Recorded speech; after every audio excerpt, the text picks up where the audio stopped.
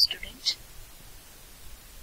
Chapter one के revision में मैं आपको ये बता दूँ पहले कि हमारे सिलेबस में से क्या क्या पोर्शन डिलीट हो गया है, जिससे कि आप इसको ना पढ़ें। इस साल के लिए ये कोर्स में से हट गया है। ठीक है बच्चों? तो ये देखिए एनसीआर इसीलिए मैं एनसीआरटी ले रही हूँ ताकि आप लोग इसको अपने उसमें से क्रॉस कर लें।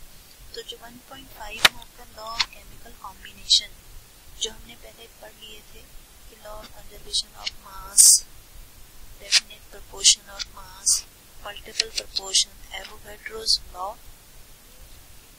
नहीं है लॉ ये आपके कोर्स में नहीं है यानी कि 1.5 वाला पोर्शन जो है आप काट देंगे। फिर इसके बाद आता है डाल्टन एटॉमिक थ्योरी ये भी आपके कोर्स में नहीं है हट चुका है आपके कोर्स से। तो 1.5 1.6 आप अपने उसमें से हटा दें ठीक? फिर इसके बाद 1.7 में फ़र्स्ट आता है इट इज़ इन कोर्स ये आपके कोर्स में है और कल के वीडियो में मैंने आपको एटॉमिक मास ही बताया है एटॉमिक मास को हम जनरली किसमें रिप्रेजेंट करते हैं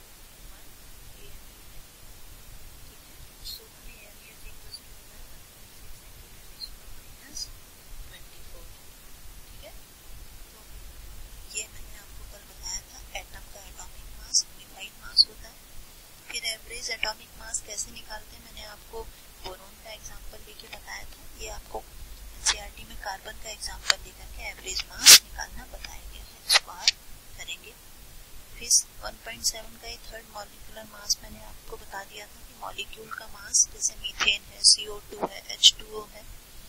जब कोवलेंट बॉन्ड फॉर्म होता है, वो मॉलिक्यूल होता है। इसी तरीके से जब आयनिक बॉन्ड फॉर्म होता है दैट इज़ फॉर्मूला मास जैसे NaCl BaCl2 तो यहाँ पे हम इस तरीके से AMU में इसको कैलकुलेट करते हैं। जैसे एक प्रॉब्लम है मॉलिकुलर मास ग्लूकोज का आपको कैलकुलेट करना है तो ये देखिए, उसको आपने सिंपल जिस तरीके से हम नाइन्थ में six into mass of carbon और twelve into mass of hydrogen और six into mass of oxygen ले लिया, इसी तरीके से हम मॉलिकुलर मास और फॉर्मूला मास कैलकुलेट करेंगे। ठीक? अब इसके बाद आता है बच्चों मोल कॉन्सेप्ट बहुत इंपॉर्टेंट कॉन्सेप्ट है। और क्लास नाइन्थ में आप लोगों ने पढ़ा भी है। मोल कॉन्सेप्ट मीन्स क्या है कि जैसे किसी भी किसी भी चीज़ को रिप्रेजेंट करने के लिए हम किसी एक पर्टिकुलर यूनिट को यूज़ करते हैं। जैसे कि एक डजन अगर हमें मेजर करना है तो उसके लिए एक डजन मीन्स होता है ट्वेल्व आइटम मीन्स जब हमें ट्वेल्व आइटम को जनरली डजन जो है वो केले के लिए यूज़ होता है बनाना के लिए। जब हमें ये नहीं समझ में आया कि बॉल्स हमारे पास है तो उनको किस तरीके से रिप्रेजेंट करें? तो उसके लिए हमने उनको एक नया नाम दे दिया कि कोई भी आइटम अगर ट्वेल्व होगा तो उसको हम डजन कहेंगे। ठीक है? तो इसी तरीके से हम उसको बड़ी क्वांटिटी को भी छोटे से यूनिट में मेजर कर सकते हैं। उसी तरीके से मोल एक यूनिट है। जो कि यूज़ होती है किसके लिए? अमाउंट ऑफ़ सब्सटेंस के लिए। किसी भी सब्सटेंस का कितना अमाउंट हम यूज़ कर रहे हैं तो उसको ऐसा यूनिट में कहा जाता है मोल तो मोल क्या है जैसे amount of substance that contain as many particles as there are in atom of exactly 12 of C C12 यानी कि कार्बन 12 आइसोटोप के 12 ग्राम में 12 ग्राम में जितने नंबर ऑफ़ एटम्स होते हैं, उसको कहा जाता है मोल। ठीक? यानी कि मोल रिप्रेजेंट करता है कि उसमें कितने नंबर ऑफ़ एटम्स हैं।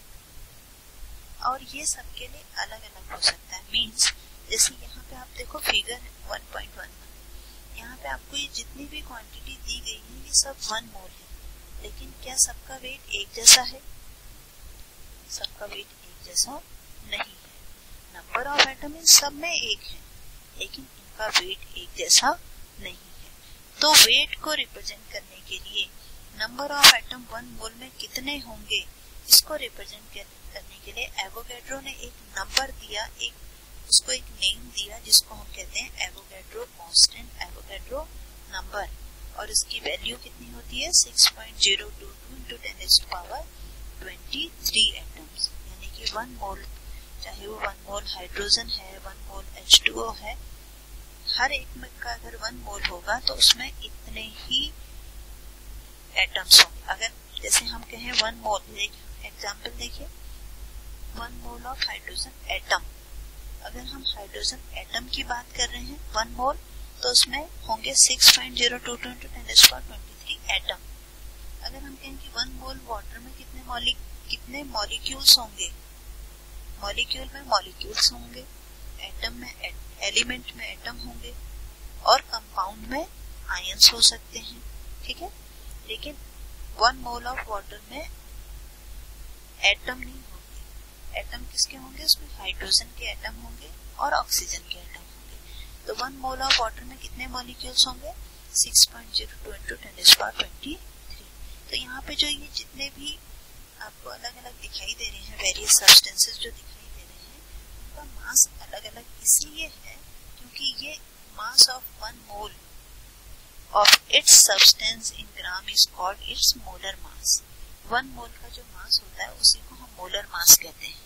मीन्स फॉर एग्ज़ाम्पल एच का एटॉमिक मास कितना है? वन एच टू का मोलर मास कितना हो मॉलिकुलर मास कितना हो गया? टू एच टू ओ का मोलर मास कितना हो गया? एटीन ठीक है?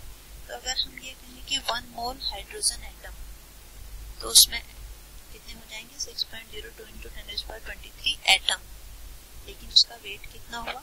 वन इसी तरीके से वन मोल ऑफ़ वाटर अगर कहेंगे तो नंबर ऑफ़ एटम सेम है। Six point zero two into ten twenty three लेकिन वेट कितना है? एटीन NaCl अगर हम ले रहे हैं वन मोल NaCl तो वन मोल NaCl का मतलब कितना हो गया? 58.5 इसका मतलब कि number of atom number of molecules same हो सकते हैं पर उसका मास अलग अलग होगा। ठीक है? इसके बाद आता है आपका परसेंटेज कंपोजिशन तो यहीं से आप आपको एक चीज़ और रिलेशन यहाँ पर पता लगता है कि नंबर ऑफ़ मोल्स को आप कह सकते हैं W upon capital M. W है वेट और कैपिटल M है मोलर मास ठीक? तो अभी आप पहले जो आपने क्लास नाइन्थ में बहुत छोटे छोटे क्वेश्चन किए हैं मोल मोल निकालने के, आप वो रिलेशन पहले यहाँ पर उस रिलेशन पे बेस्ड क्वेश्चन करिए और फिर इसके बाद आगे हम इसको, इसके न्यूमेरिकल में आपको कराऊँगी। पहले आप इसको ट्राई करिए इतना कि बस नंबर ऑफ़ मोल्स को हम किससे रिप्रेजेंट करते हैं? स्मॉल एन से। And this is equal to W upon M W क्या होता है? वेट अपॉन एम मतलब मोलर ठीक है? तो आज के लिए इतना ही। तो कल इससे आगे हम परसेंटेज